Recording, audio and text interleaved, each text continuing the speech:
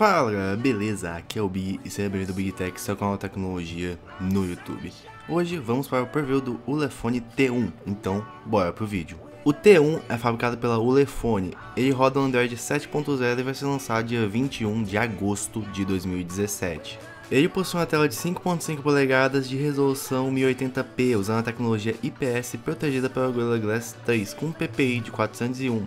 Ele é equipado com o Helio P25 como processador, fabricado pela MediaTek de 8 núcleos, sendo 4 de 2.6 para tarefas pesadas e jogos e 4 de 1.6 para tarefas mais leves e deixar o celular em standby. A GPU é a Mali T880 MP2. A câmera traseira é fabricada pela Samsung e possui 16 megapixels com uma auxiliar de 5 megapixels e a frontal pela própria Ulefone de 8 megapixels que sofre interpolação para 13 megapixels. Vale lembrar que a traseira consegue gravar a 1080p a 30 fps. Ele possui 6 GB de RAM do tipo DDR4 numa frequência de 1600 MHz. Sua memória interna tem 64 GB e é expansível até 256. Falando em expansão de memória, aqui você vai ter que fazer uma escolha, já que ele possui o sistema de barra híbrida, ou seja, ele não suporta dois chips e um cartão de memória ao mesmo tempo. Ou você usa dois chips de operadora, ou você usa um chip de operadora e um cartão SD para expandir a memória.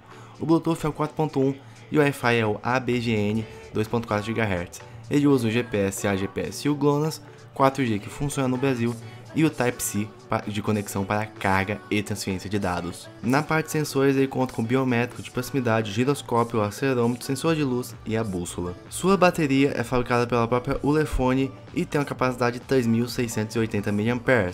Ele conta com o sistema de Quick Charge da MediaTek UPE mais 2.0, ou seja, a entrada de energia dele vai de 5 volts 2 A até 12 volts 1.5 A e a bateria não é removível. Seu design conta com botões virtuais, um corpo em metal, alto-falante na parte de baixo, disponível nas cores preto e vermelho e um peso de 181 gramas. Se você quiser ver as especificações de medidas do aparelho, espessura, largura e comprimento, vai estar tá aí na tela, é só você pausar o vídeo.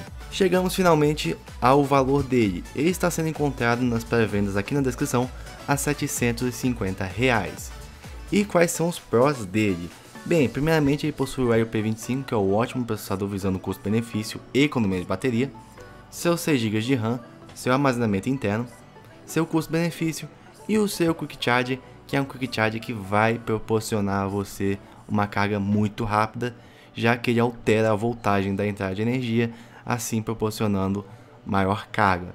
O problema desse Quick Charge é que ele esquenta um pouco, mas nada demais, ele não passa dos 42 graus, ok? Então não é uma temperatura que você tem que se assustar. E o contra, incrivelmente, por este valor, eu não encontrei nenhum. A câmera da Olefone é muito boa, o sistema de câmeras com a Samsung é muito bom também, o Quick Charge não deixa a desejar, capacidade de bateria está numa capacidade boa, visando também a espessura do celular, o armazenamento de 64 está mais que o suficiente, 6 GB de RAM não tenho o que falar, e o Helio P25 é um ótimo processador, além do fato dele estar rodando um Android praticamente puro, só trocando alguns ícones e algumas coisas que não alteram muito a usabilidade, então eu não encontrei nenhum contra nesse aparelho relevante, ok?